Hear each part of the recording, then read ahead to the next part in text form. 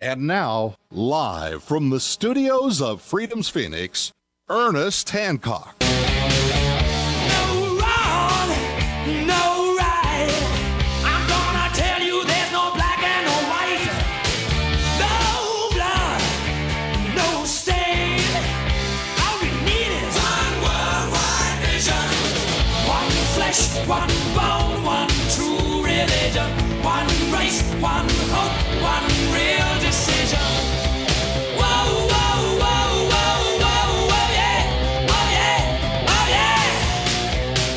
yeah. You know what's interesting about that song?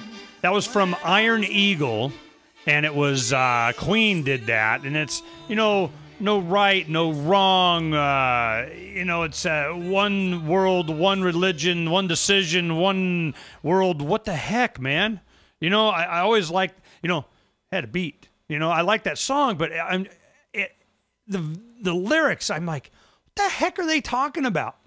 Well, in Iron Eagle, it was a, a young man and his father flew an F 16, I think it was, and, and uh, or F 15, I can't remember. He goes off and he gets shot down over, I think it was Libya. Well, they're going to go rescue him.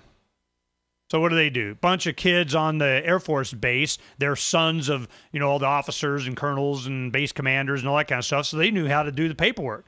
Hey man, you you get in a computer and you push a button that says arm that plane and send it over there and get it refueled and what? Hey man, we know how to do this.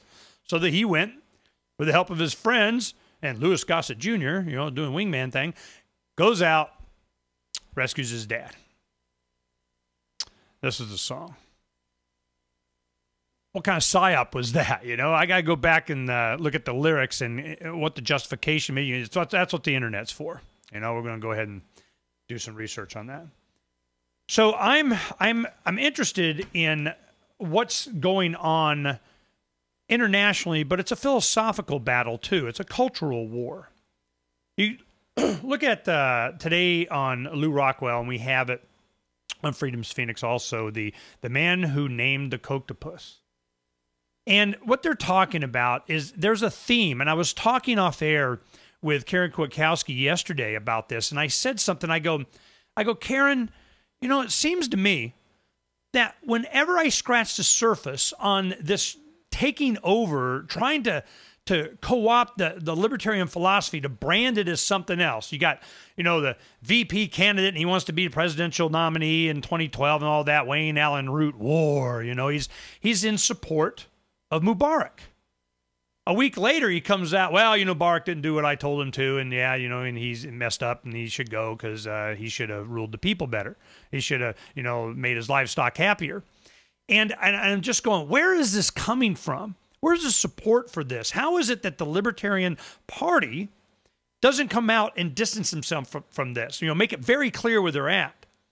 What a lot of people don't know in 2003, 4, around in there, it was right before, and one of the reasons why I ran for national chair in 04, Charles Goyette and I flew to Atlanta where we set up a mirror speech that he gave against the war, a talk show host, both he and I, against the war.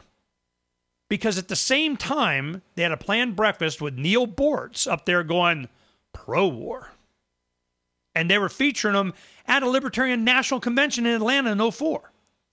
And we're like, what the heck? We published our own newspaper. Uh, we just made it very clear look, do not even think that there is this Neil Boortz is going to define libertarianism.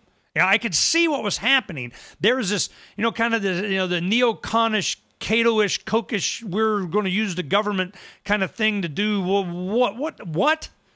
And it's all about raising money, funds, getting policy deals done. You know, you invade Bahrain, we'll bomb Gaddafi kind of crap. Okay? You do this, give us that, we'll support this. I've seen this as a since I was a young man that there has been these tentacles. That's why, and I, I, call it that. It's like tentacles. Well, it made somebody th- think of it and tell me. They go, well, you need to read um, you know, David Gordon's stuff about the Kochtopus. This isn't the first time people have realized this or had firsthand knowledge. I mean, I could just see it just from you know the, the osmosis of, uh, of, of of just being submerged in all of this rhetoric and you know and activism and so on. But I I didn't have anything to do with the things that were important to them, which is money, influence, your turn to wear the ring.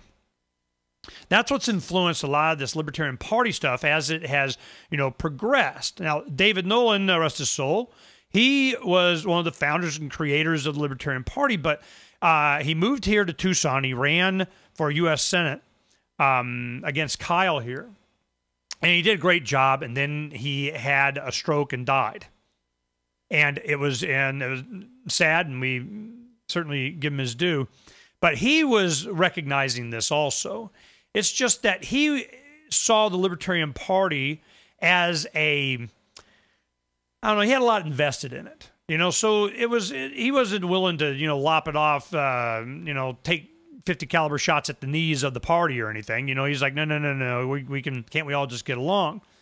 And and I like David. He's a good guy, and he recognized the problems, and he got more hardcore as the years went by, and he got you know exposed to you know Arizona, and he lived here. But uh, it was clear to everyone there is another force inside that's using that. I mean, how else would we get Bob Barr? in 05, in the, uh, no, it was, um, yeah, in 04, the convention was in Atlanta. In 06, it was in Portland, Oregon. In 06, that convention, there was a very clear effort to strip the Libertarian Party of its platform. They wanted to take out anything that was controversial. They didn't want to have the pledge and all this other stuff. The, the in order to get your card carrying card to being a National Libertarian Party member, there was there's a, a pledge. You know, I do not advocate the initiation of force or fraud for political or social or economic gain. You know, I I don't advocate in using collectivism to to take something from somebody else to give to me. Okay, seems cool. They go, well, that limits our membership. There are other people that would join us if we wouldn't have that. I go, yeah, the collectivist. I'm, I'm like, you know, that's my favorite part. You know, thou shalt not, you know, apply. The mission statement, or what do they call it? The um, the uh, uh, the purpose of the Libertarian Party. I mean, the first paragraph. I mean, you go there and it's like, you know, the, this is what we be. You know, it's just we challenge the cult this worship, this adoration of this all powerful, all knowing, omnipotent state. We, the members of the Libertarian Party, defend the rights of the individual and challenge the cult of the omnipotent state. It takes seven eighths in convention to change that. That's the only way you can do it. Start another party. You don't like it, go somewhere else.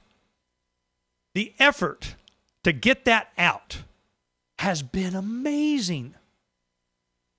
So what they did is they go, you know, we'll, we'll change it another way. We'll, we'll add that the mission of the party is to elect libertarians to office.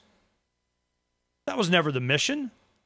It was to change the culture using the political process. That was the, the statement. That was the beginning of it in the early 70s. That was the point. So they wanted to put that in there so that they, then they could get an opportunity to say, well, see, we're, we're, we're going by, you know, our bylaws. We're, we're going to go out there and we're going to get elected. And the way to do that is not to be so radical, man. You know, cut your hair and stop wearing uh, peace beads and tie dye shirts and get a tie on. So they were emphasizing this this um, politically correct thing. Where's the money? I remember this as a young man, a young activist. You know, I was in my 30s by then. In uh, the 96 presidential election cycle, the state chair of Arizona, his name was Rick Tompkins, and he was seeking a nomination in opposition to um, uh, Harry Browne. Now, what Harry Browne, there was a, a, threat inside the party and his support. I don't know what his position was. You know, he kind of skirted the issue, but they wanted to take federal matching funds, and we were heavy against that. During the process, Rick was really making a big deal about Wall Street and the economy and how all the stuff that's going on now was coming. They would have paid him to shut up. Oh, we'll talk about that a little bit and where this all is going, who the good guys and the bad guys are. Stay right there.